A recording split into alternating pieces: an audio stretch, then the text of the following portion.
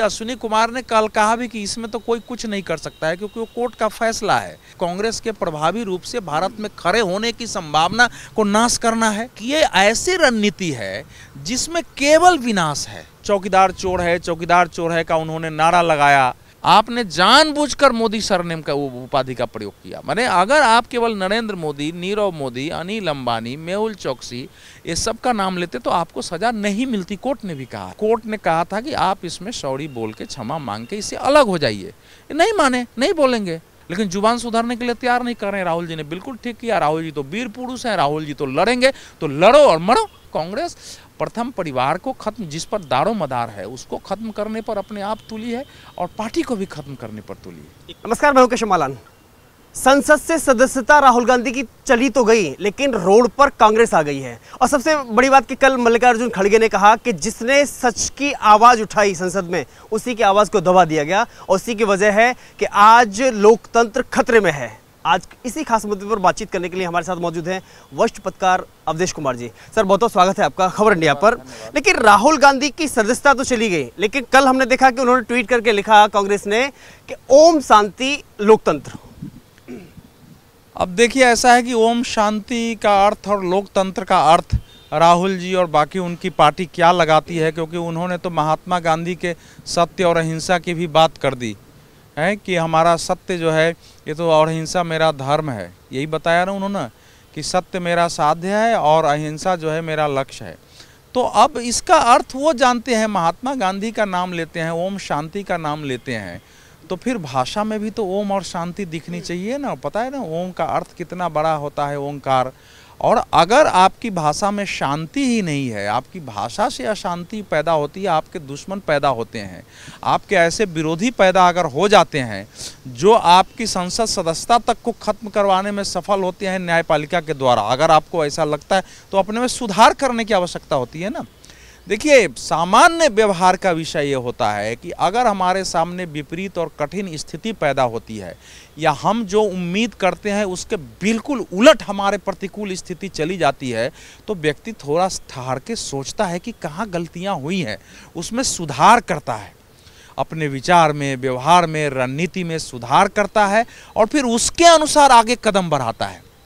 कांग्रेस और राहुल गांधी और उस प्रथम परिवार के नेतृत्व वाली जो वर्तमान कांग्रेस है और इनके जो रणनीतिकार है, ये समझ में नहीं आ रहा है कि ये जहाँ संयम की ज़रूरत है, जहाँ संजत की ज़रूरत है, जहाँ आत्मसंतुलन की ज़रूरत है, वहाँ उतावलापन हो, वहाँ उत्तेजना, वहाँ उग्रता, जहाँ के विनम्र होने की ज़रूरत है, वहाँ आक्रमण करना, ये कौन सी रणनीति है अपने को नष्ट करने की? क्योंकि अब कुछ भी करेंगे, मैं पूछ रहा हूँ कि सड़क पर आप पूरे देश को उतार दीजिए, सारे विपक्षी दल। क्या उससे कोर्ट का फैसला बदल जाएगा? ये फैसला सरकार का तो होता नहीं है। सुप्रीम कोर्ट का जो 11 जुलाई 2013 का जो वर्डिक्ट है, जो उसमें फैसला है, उसमें स्पष्ट लिखा हुआ है कि फैसला आने के साथ ही, स्पष्ट है, फैसला आने के साथ ही संसद, विधानसभा, विधान परिषद की सदस्यता उस व्यक्ति की खत्म मानी जाएगी। उसमें सेकेंड का देर नहीं लगाना है। ये कांग्रेस के जो पहले मंत्री थे, विधि मंत्री, अश्विनी कुमार ने कल कहा भी कि इसमें तो कोई कुछ नहीं कर सकता है क्योंकि वो कोर्ट का फैसला है। उन्होंने कहा कि कोर्ट के फैसले से हम लोग सहमत नहीं थे, क्योंकि व्यक्ति को एक अपील का अधिकार मिलना चाहिए, नहीं कि कोई निचली, निचले न्यायालय ने अगर किसी को सजा दे दिया हो और उसकी तुरंत सदस्यता हो जाए, खत्म हो जाए, उसको अपील का भी अधिकार न मिले। तो बोला, ये एक अलग प्रश्न है, लेकिन अगर फैसला आ गया है दो साल या उससे अधिक तो सदस्यता ऑटोमेटिक चली जाती है। ये लोकसभा जिस भी सदन के वो सदस्य होते हैं, उस सदन की ये जिम्मेवारी होती है, कोर्ट के आदेश का पालन करना। अगर वो पालन नहीं करते हैं तो वो जिम्मेवारी का पालन नहीं हुआ, वो कोर्ट की अवमानना होगी। यहाँ उल्टी बात हो रही है कि आपने जब किसी ने फलाने ने देरी कर दिया, बीजेपी के एक विधायक था, उसको सजा हो गई, सजा हो गई, इसमें दो महीने बाद हुआ, वो गलत हुआ। वो पहले होना चाहिए था, लेकिन अब कई बार ये तो ये तो चूँकि राहुल गांधी का बहुचर्चित विषय होता है किसी विधायक को कहीं किसी निचले न्यायालय में सजा हो गई, वो खबर पहुँचते पहुँचते सेक्रेटारियत तक समय लग गया, तब किसी का ध्यान आता है। अगर उसका विरोधी हो तो तुरंत चला जाता लेके विधानसभा अध्यक्ष के पास यूपी में भी हो जाता। तो इसीलिए मैं कह रहा हूँ कि ये ऐसी रणनीति है जिसमें केवल विनाश है।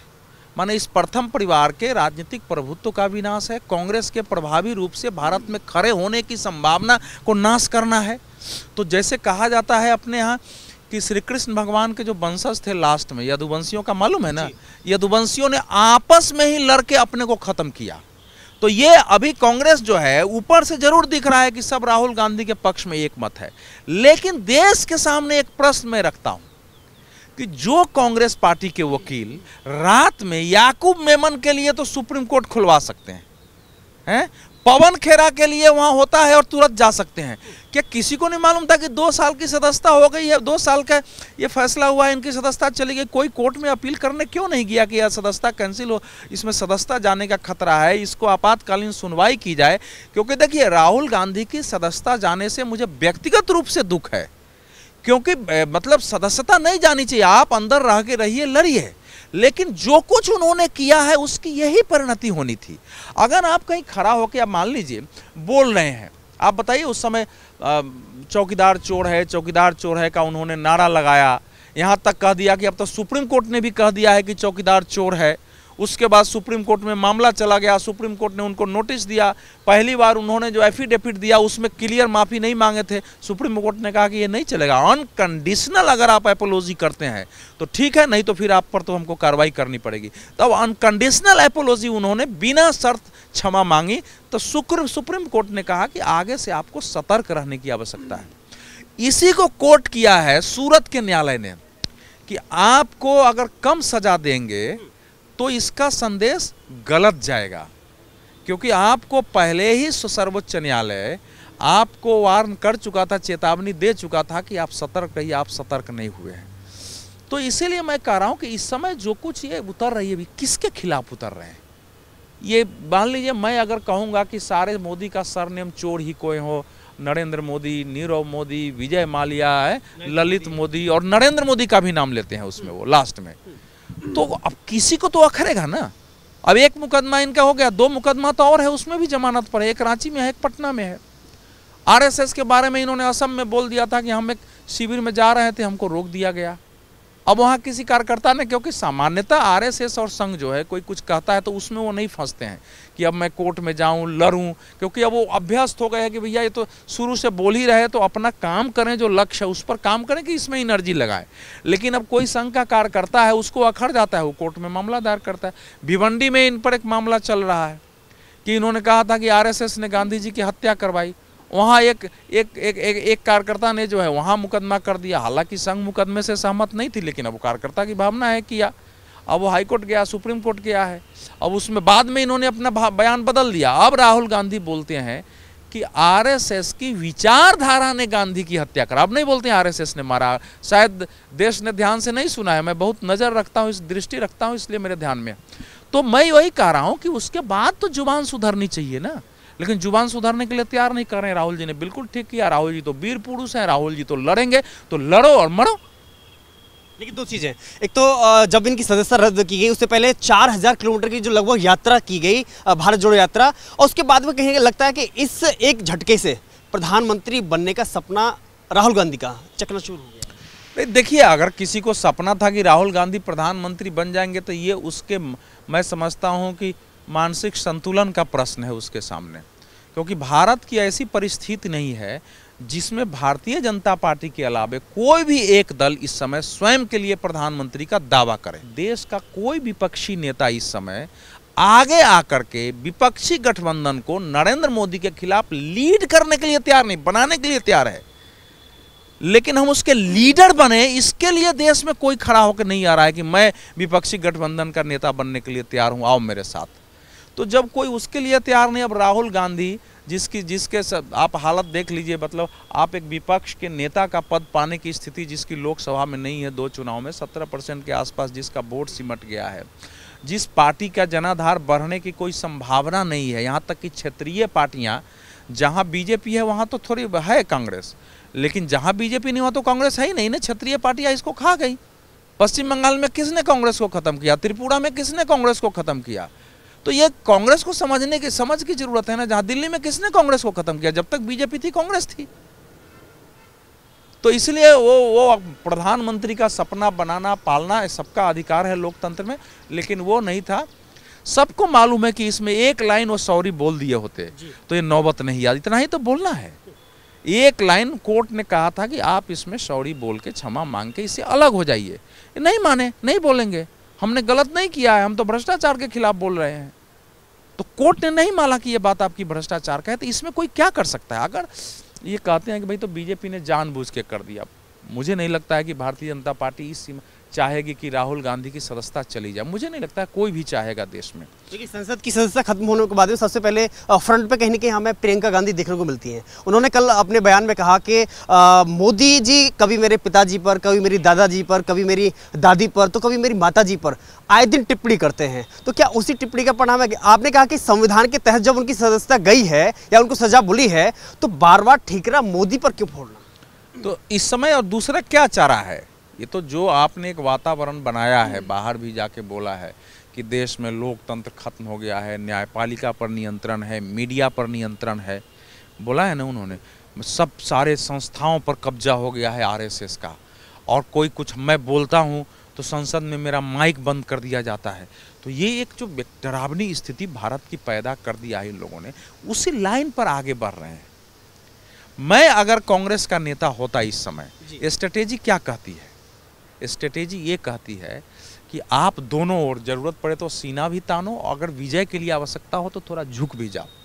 उसमें कहीं कोई समस्या नहीं होती, कहीं झुकने से ये तो मूर्खतापूर्ण काम होता है ना है ना ये? आपको राजनीति करनी है, कितना ये मानसिक रूप से मतलब इतनी उदंडता और इतनी उग्रता, आक्रामकता और मूर्खता किसी बड़े नेता का लक्षण नहीं हो सकता है। इस समय कांग्रेस की रणनीति यही होनी चाहिए थी कि ठीक है, राहुल गांधी ने बोला है, न्यायालय को उसमें अगर गलती लगी है, न्यायालय ने अपने अनुसार सजा दी है, हम इस पर विचार करते हैं, आगे अपील न्यायालय में जाकर के हम इसमें अप, आ, जो जो भी न्यायालय की की मांग होगी उसके अनुसार करेंगे और पहले इस मुकदमे से बाकी हमारी लड़ाई नरेंद्र मोदी के खिलाफ भ्रष्टाचार के खिलाफ सब जारी रहेगी। लेकिन जहाँ तक न्यायालय का सम्मान है न्यायालय जो कहेगा वैसा हम करेंगे। और आराम से जो है अगले अपील आगे डिस्ट्रिक्ट जज के कोर्ट में जाना है और हाई कोर्ट अभी हाई कोर्ट में नहीं है। वो तो जा सुप्रीम कोर्ट भी सकते थे नहीं अगर एक एक खीरी आगे बढ़ेंगे तो यह है। तो आप अगले कोर्ट में जाते हैं आप बोलते कि हम वहाँ नहीं कर सके हैं हम कोर्ट से माफ़ी मांगते हैं। हमसे नरेंद्र मोदी का हम नाम ले, कोर्ट ने उसमें कहा है कि आप केवल नरेंद्र मोदी, नीरव मोदी सबका ही नाम ले सकते थे। आपने जानबूझकर मोदी सरनेम का उपाधि का प्रयोग किया। मैंने अगर आप केवल नरेंद्र मोदी, नीरव मोदी, अनिल अंबानी, मेहुल चौकसी, ये सब का नाम लेते तो आपको सजा नहीं मिलती, कोर्ट ने भी कहा है। तो उस पर तो बरकरार रह सकते थे। अगर इतनी समझ नहीं है तो आप क्या कर सकते हैं? इसमें कोई कुछ नहीं कर सकता है। कांग्रेस प्रथम परिवार को खत्म जिस पर दारो मदार है उसको खत्म करने पर अपने आप तुली है और पार्टी को भी खत्म करने पर तुली है। आखिरी सवाल आपको लगता है कि इसके बाद में अब 2024 में कांग्रेस की ओर से पीएम पद का दावेदार कौन हो सकता है कौन होना चाहिए? ये बहुत बड़ा प्रश्न है कांग्रेस के सामने क्योंकि ये कांग्रेस के सामने बड़ा संकट पैदा हो गया। हालाँकि कांग्रेस इसको संकट नहीं मान रही है। मुझे लगता है आप लोगों का ध्यान नहीं गया है। ये जानबूझकर कोर्ट में नहीं गए होंगे। ऐसा थोड़ा है कि वहाँ वकील बैठे हैं, उनको नहीं है कि फैसला आएगा और चले जाएँगे कि बता रहे हैं कि तो गुजराती में था तो उसका अनुवाद करने में समय लगता। ये ऐसा कर रहे हैं कि हम अपने को पीड़ित बना के राहुल गांधी को पेश करें। और पीड़ित बना के पेश करें तो विपक्ष भी हमारे पक्ष में यूनाइट होगा। मीडिया की सहानुभूति मिलेगी, लोगों की सहानुभूति बनेगी और राहुल गांधी फिर सड़कों पर उतर के उसी प्रकार से जगह जगह यात्रा करेंगे, भाषण करेंगे और इसका हमको लाभ मिलेगा। और कोर्ट में जो नॉर्मल एक पिटीशन होता है या अपील करना, अपीलीय न्यायालय में, चूँकि अभी नीचे सत्र, नीचे न्यायालय का फैसला है जुडिशियल मजिस्ट्रेट का फैसला है तो अब सत्र न्यायालय में जाएगा। तो सत्र न्यायालय में डिस्ट्रिक्ट जज या जिसको चाहेंगे या स्वयं देखेंगे, वहाँ जाएगा मामला तो ये प्रॉपर वे में ऐसे ही लड़ेंगे ये। इसको ये आगे ले जाने की कोशिश कर रहे हैं। लेकिन ये रणनीति बिल्कुल गलत है। देखिए, कहा गया है कि मूर्ख उस सूखी लकड़ी के समान है। मूर्ख की परिभाषा दी गई है कि मूर्ख उस सूखी लकड़ी के समान है, जिसमें कितना भी आप पानी डालो, उसमें रसायन डालो, उर्वरक डालो, उसमें कोई फूल पत्ती नहीं लग सकती है। वो टूट जाएगा सूखी लकड़ी आप लगा दो, लेकिन झुक नहीं सकता है वो। वो कट जाएगा, जल सकता है, लेकिन झुक नहीं सकता है। ये किसी ये किसी बुद्धिमान मनुष्य का लक्षण, ये ये सूखी लकड़ी का नहीं हो सकता है, जैसे ये कैमरा है, इसको आप यहाँ से मोड़ेंगे, जब तक इसमें नट नहीं दिया रहेगा, ये नहीं मुड़ सकता है। आपके माइक में भी ये तोड़ सकते हैं आप। तो ये सब यंत्र है ना, इसको बनाया गया। हम मनुष्य यंत्र नहीं ना है। इस समय तो वही स्थिति थी कि आप जो है, जैसे हनुमान जी को लंका पहुँचना था। सुरसा ने घेर लिया। घेरा ना सुरस? और ये थोड़ा अपना सुरसा का बदन होता, दुगुना करते थे। वो चरगुना कर देती थी, फिर आठ गुना करते थे। फिर समझ में आ गया जी तो मैं फंसा रह जाऊँगा, काम ही नहीं होगा। क्यों क्यों अपने को दिखाना है कि मैं बहुत बलवान हूँ? मेरा काम तो लंका पहुँचना है। तो उन्होंने अपने को छोटा सा बच्चा बना लिया। और उसका आँख की हुई थी, उसके मुँह में घुस गए कि, लो माता, मैं तुम्हारा तो पान बन गया और तुम्हारा भी काम हो गया और हमको जाने दो, घुसे उसके कान से निकल के चले गए। सुरसा भी विनम्रता के सामने जो है झुक गई। तो ये सब हमारे शास्त्रों में बताया गया है समय के अनुसार। कांग्रेस को इसका अगर पता नहीं है तो आप कुछ नहीं कर सकते। ये मुझे मेरी समझ है कि रणनीति के तहत इतने वकील होते हुए भी ये कल सुप्रीम कोर्ट नहीं गए थे ये जा सकते थे कि ये स्थिति बन गई है इसमें संसद सदस्यता जा सकती है इसलिए इसमें हमको स्टे दे दिए अगर सुप्रीम कोर्ट फैसले पर स्टे दे देता तो फिर तो सदस्यता नहीं जाती। स्टे नहीं देता अभी भी संभावना है। अभी भी अगर कोर्ट आगे फैसले पर स्टे दे, फैसला पर स्टे। केवल अगर अपील है, सुनवाई है, जमानत है, उससे फैसला नहीं। अगर अगर वो मानता है कि कोर्ट के फैसले पर स्थगन आदेश मिल जाता है तो फिर उनकी सदस्यता के लिए अपील की जा सकती है और जब तक चुनाव की घोषणा नहीं होगी, सदस्यता उनकी बहाल हो सकती है। दूसरा, अगर अगला कोर्ट मान लेता है कि नहीं, उनको दो साल की सजा नहीं है, एक साल की होगी छः महीने की होगी, या उनकी सजा को रद्द कर देता है, तब भी सदस्यता अपने आप ऑटोमेटिक बहाल हो जाती है। ये है फैसले का पक्ष। अब कांग्रेस इसमें से कोई अगर नहीं अपना रही है कि हम अपील नहीं करेंगे तो ये समझने की बात है कि आपका आपका आपकी रणनीति क्या है? तो इसलिए इस रणनीति के तहत अब कुछ लोग कह रहे हैं कि ये हो सकता है कि कांग्रेस के कुछ नेतृत्व जो है, वो राहुल गांधी से छुटकारा पाना चाहते हो और प्रियंका वाड्रा को जो आपका प्रश्न था आगे लाना चाहते हो, मैं इससे सहमत नहीं होता हूँ। क्योंकि कांग्रेस का भी मानना है कि प्रियंका वाड्रा में राहुल की इतनी भी क्षमता नहीं है। उन्होंने जो अभी तक भाषण दिया है, मैं व्यक्तिगत उनका सम्मान करता हूँ एक एक एक एक सिविलाइज्ड महिला राजनीति में आई है तो उसका सम्मान होना चाहिए। मुझे उसमें कोई कठिनाई दिक्कत नहीं होती है।